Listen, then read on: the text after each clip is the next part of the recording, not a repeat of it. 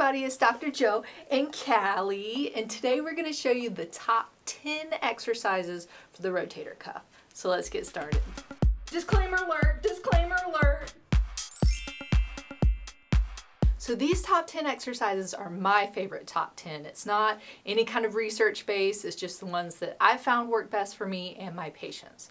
So the rotator cuff is those four main muscles, SITS. So it's supraspinatus, infraspinatus, teres minor, and subscapularis. However, there's a whole bunch of muscles that attach to the scapula, and it's like 20-ish muscles, so it's a lot. So when you think of strengthening the rotator cuff, in general, you really are going to be strengthening all those muscles because you want that shoulder blade, that scapula, to be working correctly. And that helps if you have an injury, it helps fix all those imbalances. So if there's one muscle that's messing it up, it can affect that whole shoulder blade. So some of these strengthening exercises might not be specifically for the rotator cuff, but it's really for those muscles that are all around it which really affect it. So we're going to start off with a pendulum exercise. This can sometimes be a stretch or an exercise. I like to add in holding onto a weight, which does make it an exercise. So it's really good to start off with the pendulums. It opens up that shoulder joint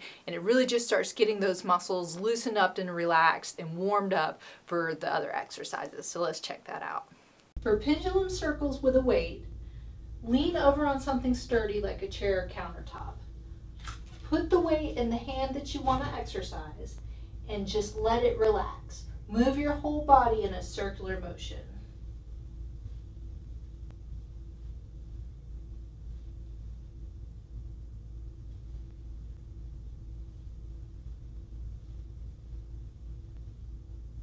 For pendulums front to back with a weight, lean over on something sturdy like a chair countertop. Put the opposite leg forward and the closest one back. Put the weight in the hand you want to exercise and just let it relax. And then shift front to back.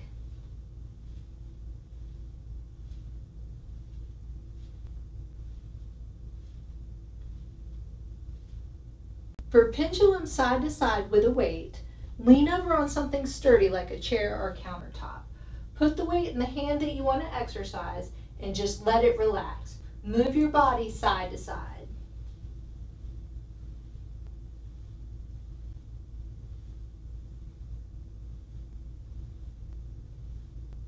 So exercise number two is going to be an isometric internal rotation of the shoulder. So this starts getting that rotator cuff. These isometric exercises are when you're activating the muscle but you're not actually moving the muscle. And this is important because especially if you've had a surgery or a specific injury where you may be not supposed to be doing the whole movement, then this is a way to start strengthening the muscle without breaking the precautions or maybe you're allowed to do the movement but it's just too painful right now. So the isometrics is a great way to start off doing that. So let's see it for internal rotation.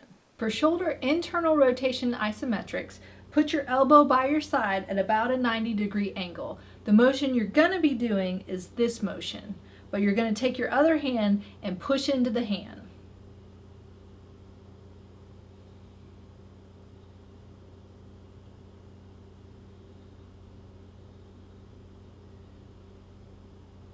Number three. So now it's going to be an isometric external rotation. So same kind of concept with that isometric where you're activating the muscle, but you're not really moving it. So if you have those precautions or if you have a lot of pain with the movement, this is going to start help strengthening those muscles without really irritating them more. So let's take a look at that. For shoulder external rotation isometrics, put your elbow by your side with your arm bent to about 90 degrees. The motion you're going to be doing is going out this way, but you're going to take your other hand to block it. So you're pushing into your hand and then relaxing.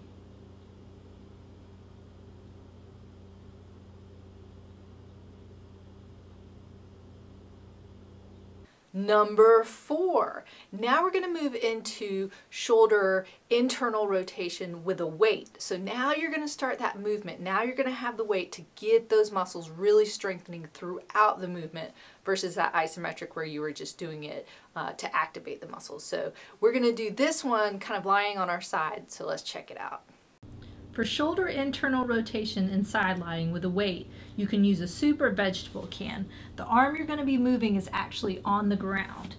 Put your elbow close to your side and have your elbow at a 90 degree angle and then just bring it up and back down.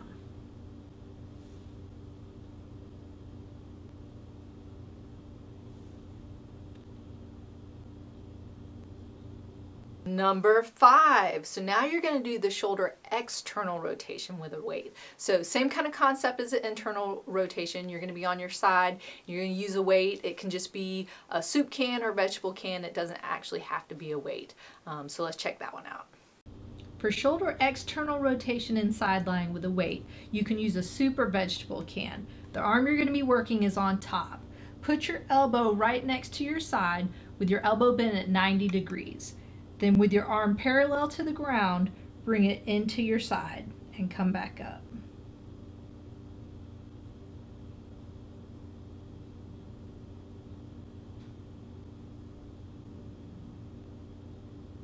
Number six. So this one's going to be a little bit of a series. It's a couple exercises in a row, but I like to just count them as one because it's a working kind of the same area, which is that upper thoracic back area, which again has a lot to do with all those muscles attached to the shoulder blade or that scapula. So these are going to be I's, T's, Y's, and W's. So let's check those out.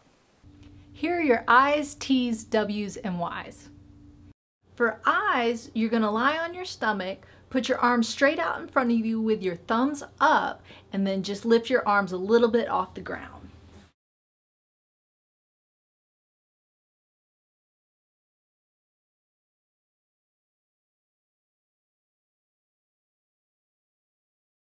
For T's, you're gonna lie on your stomach, put your arms straight out to the side with your thumbs up, and then just lift them a little bit off the ground.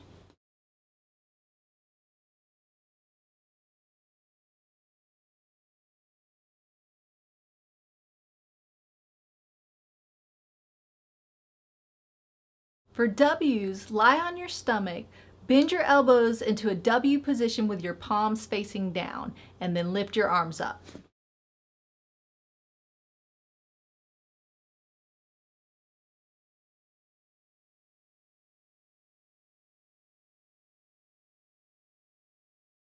For Y's, you're going to lie on your stomach, put your arms out at an angle in a Y position with your thumbs up, and then lift them up just a little off the ground.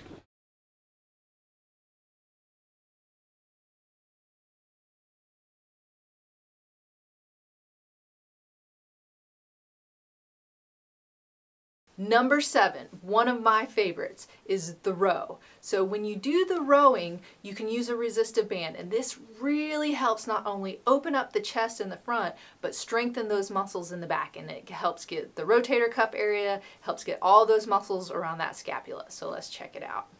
For seated rows with a resistive band, take the band, bending your knees up just a little bit, wrap it around your feet for an anchor, with your thumbs up and your elbows by your side, pull back and squeeze your shoulder blades.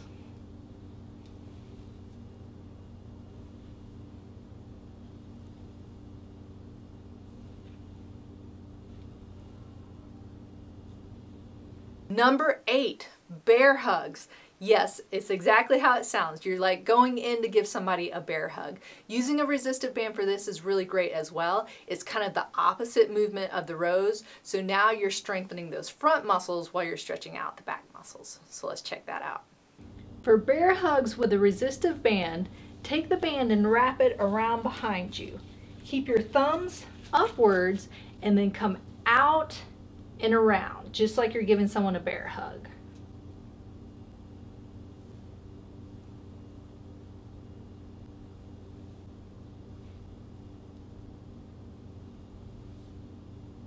Number nine, serratus punches. So the serratus anterior muscle is the one that helps keep that shoulder blade close to the rib cage and the spine in the back. So when it's not working properly, that shoulder blade comes out into a winging, we call it a winged scapula. And that's really bad because that can cause a lot of dysfunction and that can cause a lot of pain in the rotator cuff area up in the shoulder. So let's check that one out. For serratus punches with the resistive band, take the band and wrap it around behind you. Hold the band up on top with your thumbs up and then straighten out your arms. Keep your elbows locked out and punch forward. So not bending those elbows, but bringing your shoulders forward.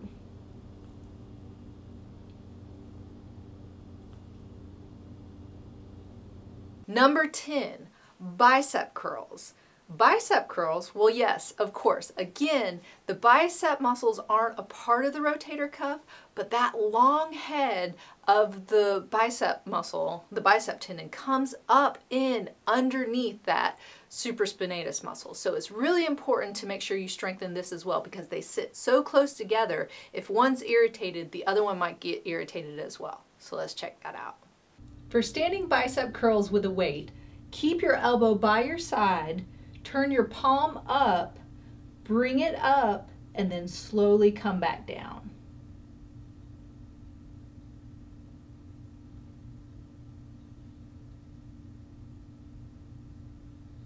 So there you have it. Those were your top 10 rotator cuff exercises. Did you like those? Yeah. Remember, those were my favorite, not necessarily any kind of scientific research to it. If you'd like to help support my channel, make sure and click on the link up here to find out how. And don't forget to subscribe by clicking down here. And remember, be safe, have fun, and I hope you feel better soon.